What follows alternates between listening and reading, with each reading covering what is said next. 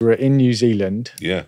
and we had this race. You were in a rent a wreck. Yeah. I think roughly 200 miles Yeah. outback New It was Zealand. around North Island. Yeah. And we were in a 45 foot racing boat, Yeah. about 100 miles by sea. Yeah. You were on your own. We had James May. It still remains one of the happiest days of my life because I said goodbye to James May in the morning and he was James May, you know, just James May. And then I don't know how long it took, maybe eight or nine hours or something of that it nature.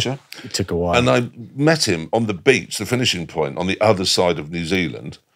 I have never seen a human being transform physically as much as he transformed that day.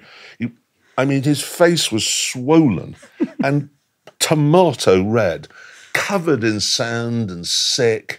And the man was, He was exhausted, exhausted. yeah. Um, and, it, and it thrilled me. It was arousing to see that you'd very nearly killed James May. I think he had a terrible time. He hated it. He, he he literally still hated says it. it's the worst day of his life ever.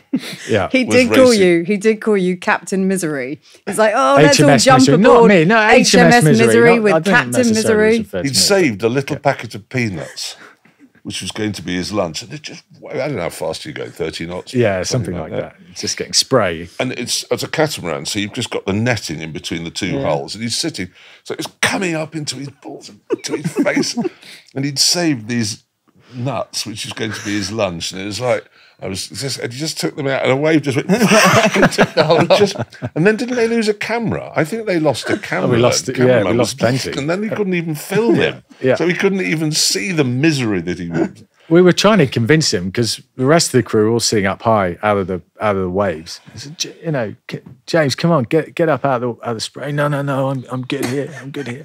So you say, eight nine hours, just constantly getting It's- it's pelted. been All the sun cream smashed came off. Yeah. he was a wreck. Anyway, I've always loved you ever since that because you were the man who made James May miserable for nine hours. Even I haven't been able to manage that. Kaleb, are you a boat person? Do you like boats? Never on a boat. Never. I'll tell you like actually. I went to went to um for my six year anniversary. My other half. I went to Stratford, and she bought me a dinner on a boat. Went on a barge. Went down the went down, turned back round, and come back. He's also never been in a taxi, on a train, on a bus, and an aeroplane. No, no, no, I don't need to. I just don't need to. Why do I I need took to? him in a helicopter the other day, and as we got in, he went, "Do I need a passport?" no, we're only going to look round the farm. I didn't just come back again. I was uh, I actually at the start I was very nervous, Mm. and, and um, Now you want one.